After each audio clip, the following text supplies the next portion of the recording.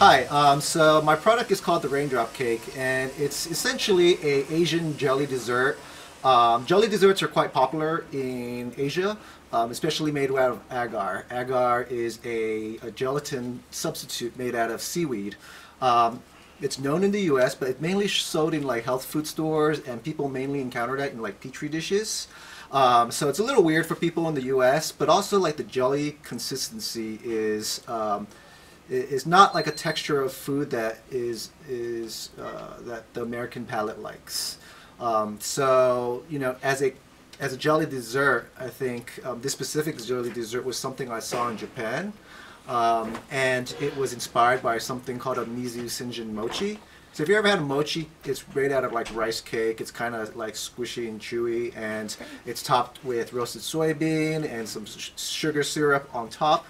Uh, so this um, I read was uh, created by somebody who wanted to make a water mochi. And so it was something I saw uh, online, and I was fascinated by it. By it, um, and when I saw it, it just looked so cool to me. It reminded me of like a Bug's Life, like eating a water droplet.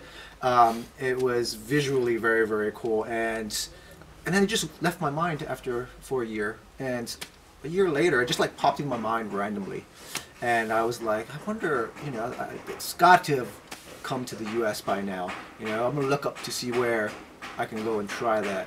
And I looked up, like, didn't didn't really didn't really go anywhere. It didn't really take off. And I was like, well, you know, I'm gonna start to try to make this at home. Hmm.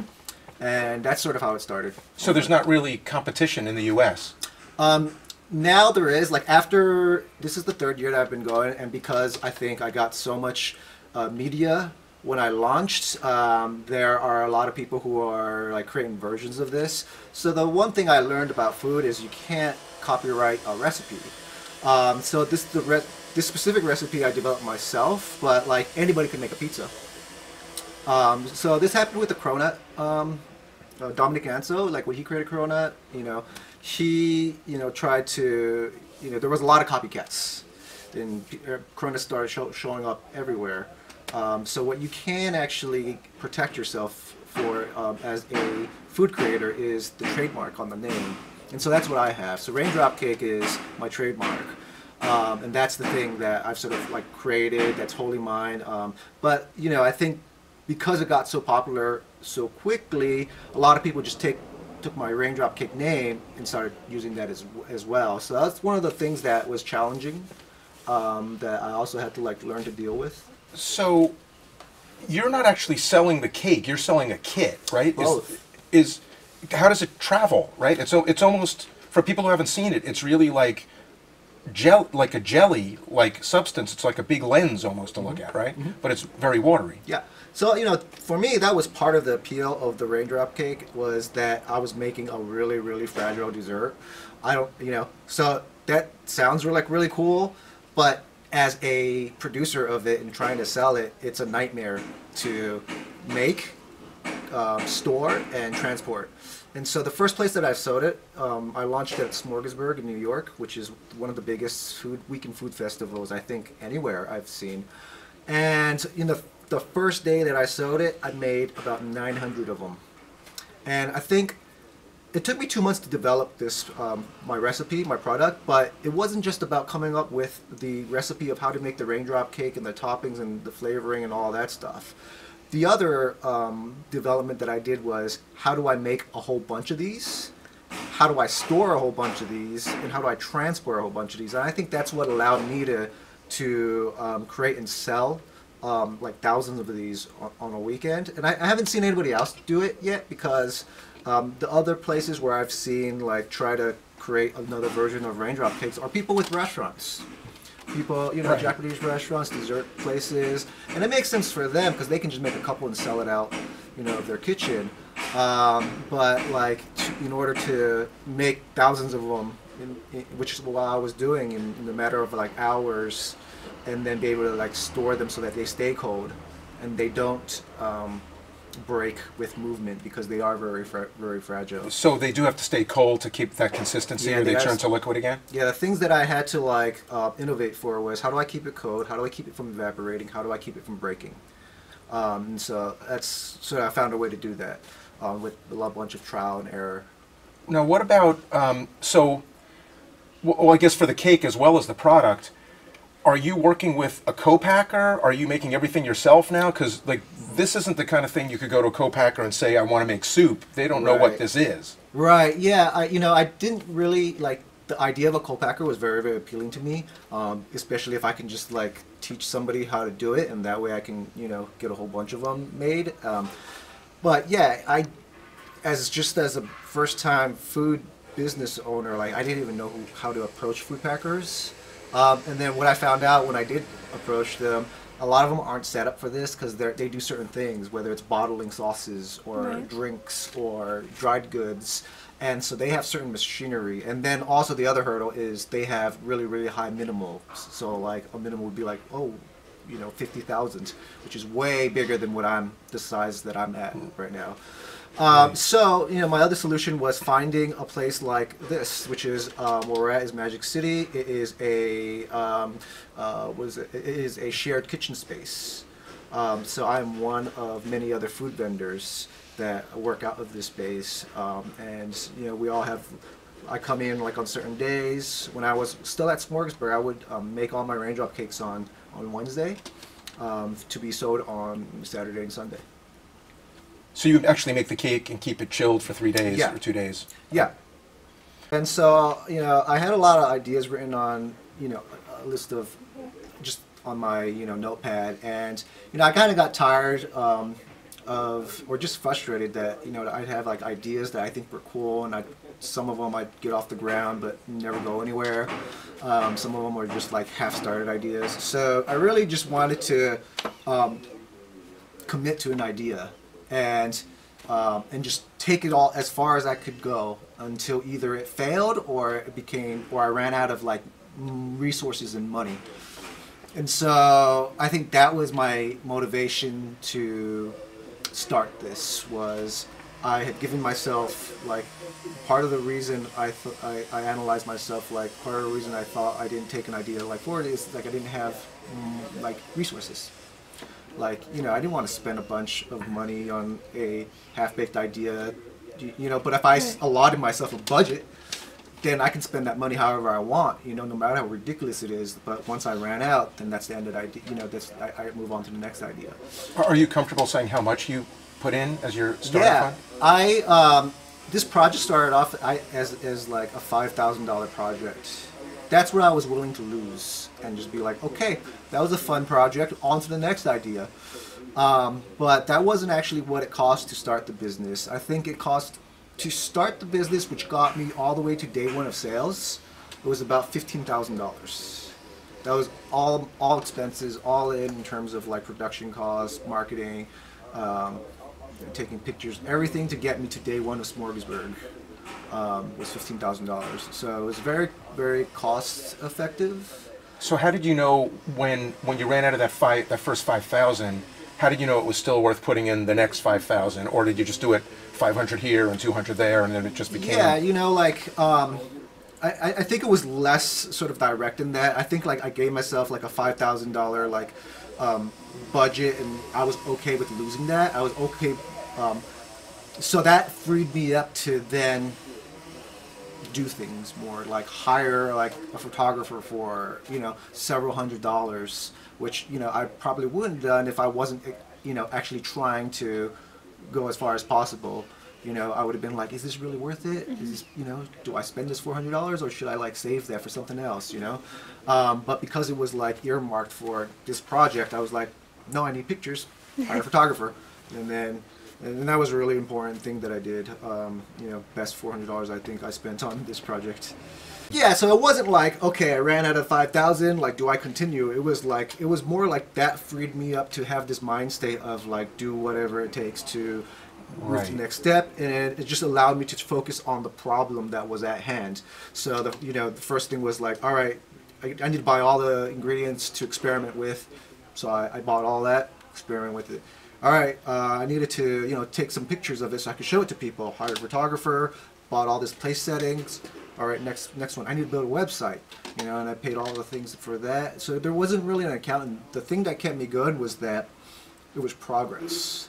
Like every step was like, okay, here's a problem, here's how, how I can solve it, and as long as I solved it, I, was I was able to move on to the next problem. I think if I reached a problem that I wasn't able to solve and I kept throwing money at it and eventually ran out of money, I would have been I would have stopped. Wh- What were the biggest problems you, you faced and obviously overcame?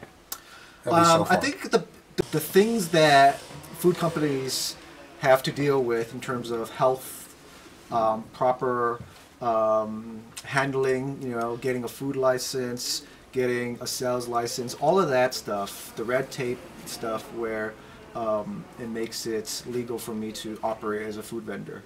Um, that was stuff that I had to like quickly learn, um, and that was difficult because I can't just wing that. You know, there's rules that I have to follow, or I can't be in business. Did someone give you incredible advice along the way that helped you out? Or did you solve this all just sort of, you just hit a stumbling block, overcame it? Just were you on your own, or was there some great mentor?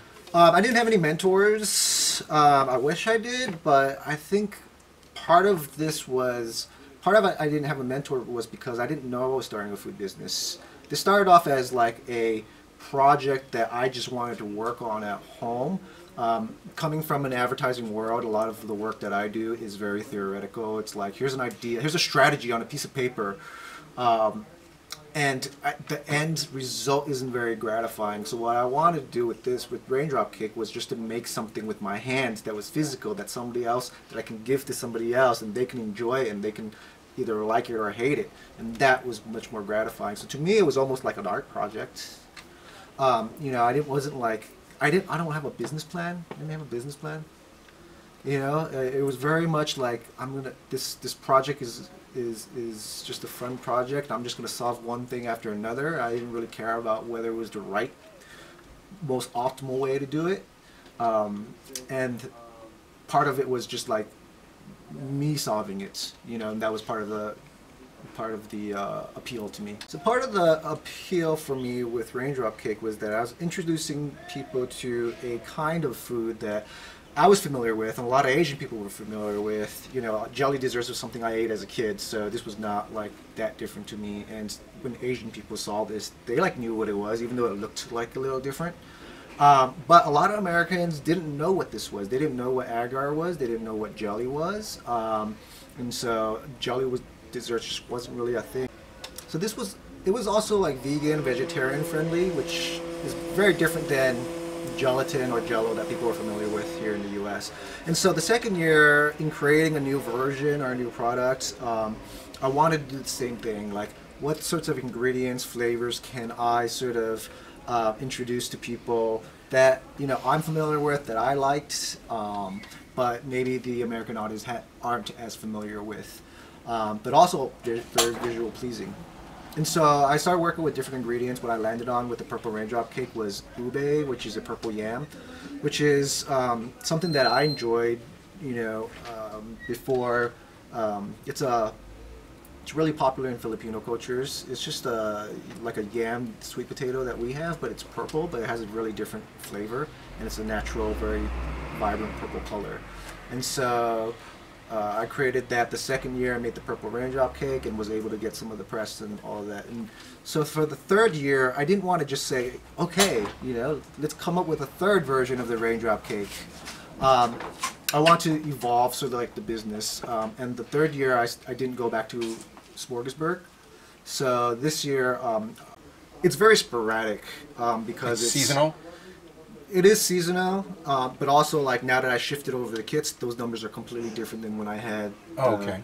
the the cakes at Smorgasburg. But the the I didn't really spend a lot of meaty dollars when I was at Smorgasburg, um, and what I noticed is that um, meaty dollars didn't really help me at Smorgasburg because it's such a local thing, and the majority of my sales are going to be from people who are walking by um, or have saw it online and go- are going to Smorgasburg anyways. So uh, what I did find that it was very consistent. Um, at least averaged out, I was getting like five to ten percent of foot traffic of Smorgasburg um, audience, um, and that's how I can sort of like project sales. Uh, I just looked at what's the expected uh, attendance rate, for that weekend. I'm like, all right, I'm gonna get that certain percentage of that. Do's and don'ts, worst thing to do, best thing to do? Worst things to do. Do's and don'ts. Um, oh, you know, yeah. I I mean, the other thing that I, I don't know if this is advice. To, I mean, I I just thought when I started, uh, I had a very frugal approach to starting my business, which allowed me to be profitable within like the first weekend of selling. Like I started uh, this as a very frugal business, fifteen thousand dollars, and then throughout, I've always tried to keep my costs low so that I can keep a healthy profit margin that allowed me to quit my job and, and work on this full time. Now, was that a good thing or a bad thing? You know, I I'm not sure. You know, I could have just like respent every single dollar and just put it back into, you know, and hired like a social media uh, person to create content at the very beginning. Things might be very different, but I wouldn't be able to quit my job if that was the case. You know, um, so. How long ago did you quit your job? Like, were you in two years before you quit? No, the first month. Like Oh, after a month of I was profitable the first weekend. wow. Like I was like, oh shoot, like you know, I sold like a like 900 raindrop cakes the first day, um, and yeah, and it was just like, and I needed a lot more time the first couple, like the first year in terms of producing things. Um, it t- used to take me a whole week to make 900 raindrop cakes, and then I got it down to making 900 in like six hours. Oh, yeah, wow. so you know my rate, uh, my efficiency really, really like went up um, as I got better at it. Um, so yeah, being frugal, I think, just starting off, um, you know, really helped me to, you know, what did they say? Like 80% of businesses fail the first year. Um, so yeah, you know, I, I wanted to give myself the best shot at making it beyond the first year. Sounds like it worked.